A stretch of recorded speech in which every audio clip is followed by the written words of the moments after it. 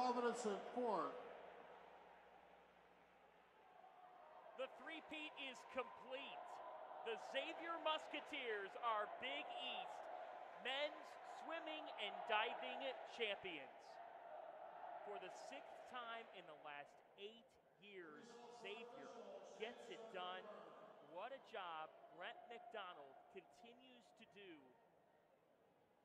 as the leader of this program. And when you think about Xavier, think about their upperclassmen who stepped up tonight in a variety of ways. From Christian Thomas to Alex Saronin,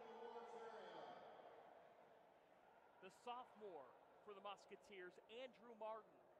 Xavier has a dynasty of their own in Cincinnati in Big East men's swimming and diving, and the Musketeers dominate their way to another, a third straight Big East title. We will take a quick break and be back with championships galore right here on the Big East Digital Network, sponsored by SoFi.